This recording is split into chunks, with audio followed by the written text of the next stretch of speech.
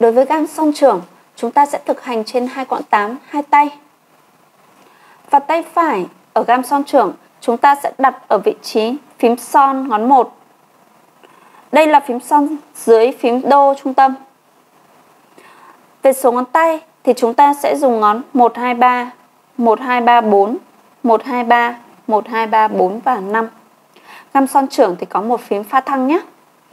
Bây giờ trước khi mà cô chơi hai tay cùng một lúc thì cô sẽ hướng dẫn cho các bạn từng tay.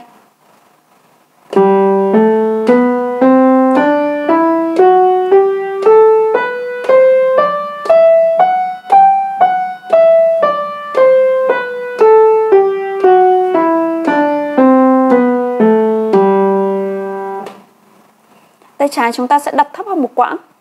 Chúng ta sẽ dùng ngón 5 4 3 2 1 3 2 1 4 3 2 1 321